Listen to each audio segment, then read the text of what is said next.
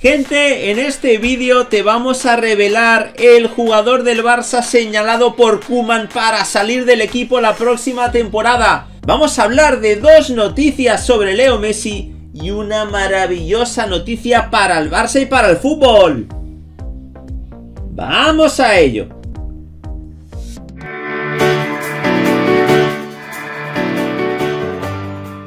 Hola de nuevo gente, ¿cómo estáis? Bienvenidos de nuevo a otro vídeo para el canal. Vamos a analizar en concreto cuatro noticias de actualidad barcelonista. Por tanto, te animamos a que te quedes hasta el final del vídeo, a que nos dejes un buen like y a que le deis a la campanita de notificaciones.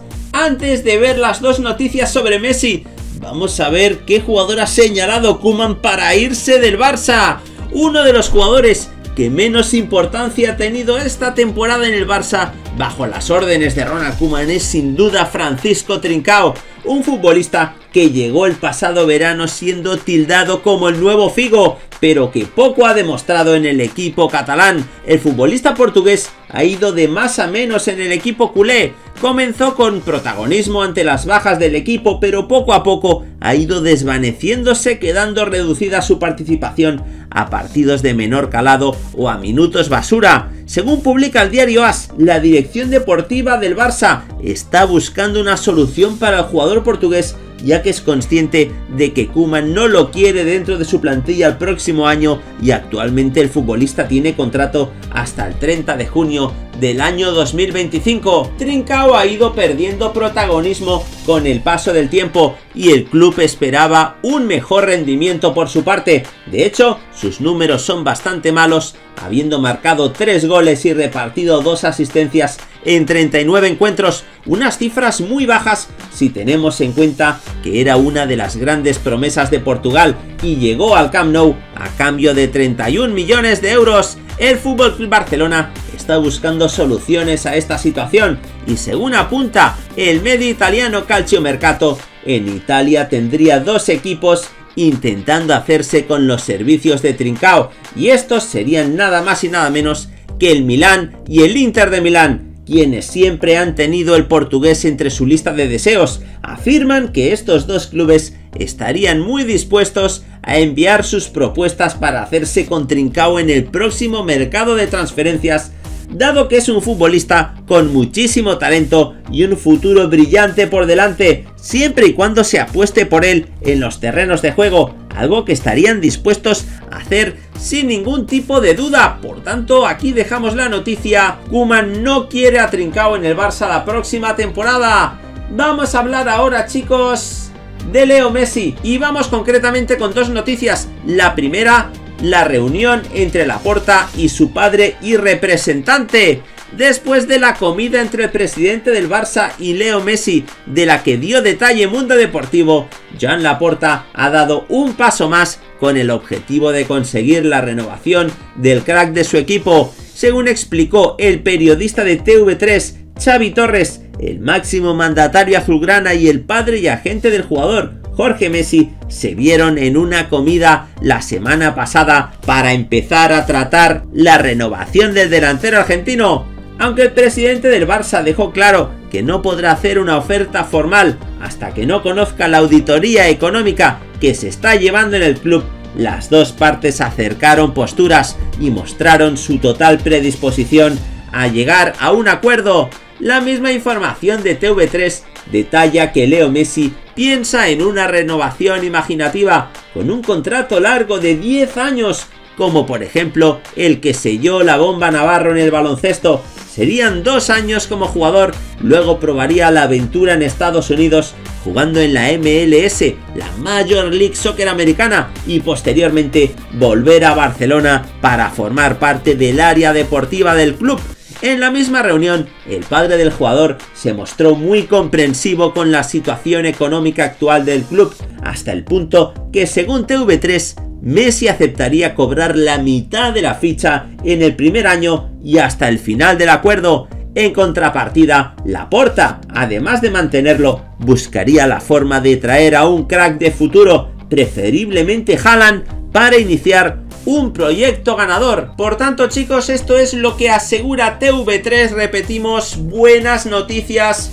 buen ambiente y buena predisposición entre ambas partes para que Messi pueda seguir en el Fútbol Club Barcelona. Vamos a seguir hablando, chicos, del crack argentino. Y es que desde el capítulo del Burofax, el Barcelona sigue pendiente de saber qué pasará con Messi de cara a la próxima temporada. Después de la última píldora de la reunión entre Jean Laporta y el padre del futbolista, la continuidad del 10 puede estar más cerca. De ese embrollo habló Xavi Hernández en el adelanto de una entrevista que filtró TV3. Dijo lo siguiente, hemos de mirar que Leo sea feliz, porque con un Messi contento y feliz tienes más números de ganar títulos y que la cosa funcione, recordó el ahora entrenador del Al-Sad, consciente de lo importante que es que el argentino continúe.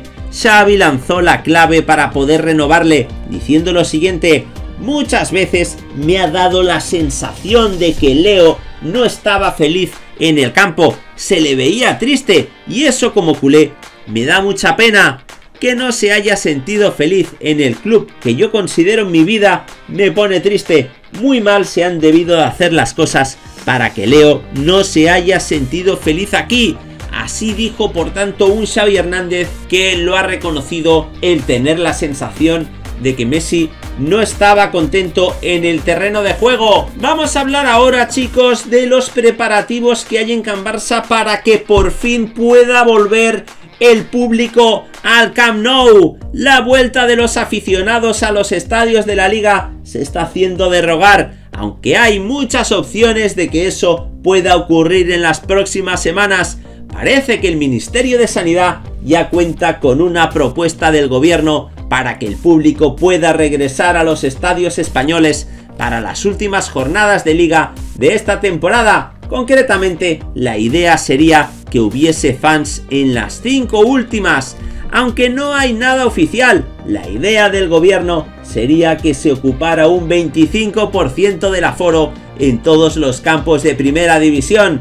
En el caso del Fútbol Club Barcelona, eso permitiría la entrada a 24.838 socios, una cantidad más que interesante teniendo en cuenta que hace más de un año que en el estadio culé no entra nadie. Días después de esa información, en el diario Ara han confirmado esos datos y han asegurado que el Barça ya se está preparando. Según este medio, el conjunto barcelonista ya está haciendo los preparativos para poder meter a unos 25.000 socios abonados en el estadio para el próximo 8 de mayo.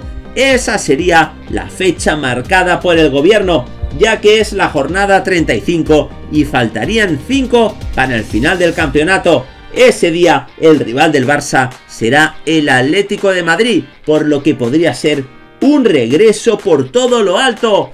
Por este motivo, en caso de que Sanidad y el Consejo Superior de Deportes den su ok a la liga, el Barça ya tiene decidido cómo va a repartir sus entradas. Los Blaurana están pendientes que desde el campeonato y el Proficat confirmen que podrá volver la gente a los campos para poner en marcha su plan, tal y como se dijo hace unos días el club aboga por el sorteo para repartir los 25.000 asientos. En este caso, habría un plazo de inscripción para los socios abonados de cara al encuentro y entre todos los que presentaran la solicitud habría un sorteo. Una vez asignados todos los asientos, el Barça ya tendría planificado cómo evitar aglomeraciones en la entrada y salida del Camp Nou. En ese sentido, habría una franja de entrada y salida para dividir a todos los asistentes que además podrían entrar en grupo si forman parte de la misma burbuja. Por último, tal y como se esperaba, los servicios de bar y restauración estarán cerrados.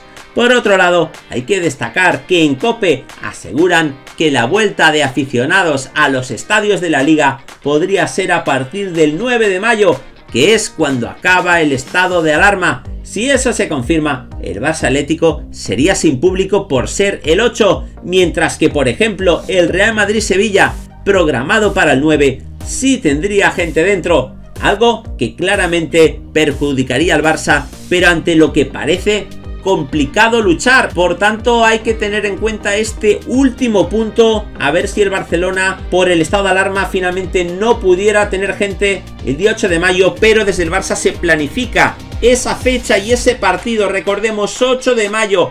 Fútbol Club Barcelona Atlético de Madrid con la liga en juego podría haber de nuevo público en el Camp Nou. Nos gustaría saber vuestra opinión al respecto de cualquiera de estas noticias y que por favor nos la dejéis en los comentarios justo debajo de este vídeo. Nada más por el momento, como siempre animaros a que os suscribáis al canal para seguir viendo todos nuestros vídeos y aquí os dejamos este vídeo más que interesante para que sigáis disfrutando de todas las noticias del fútbol. ¡Hasta la próxima!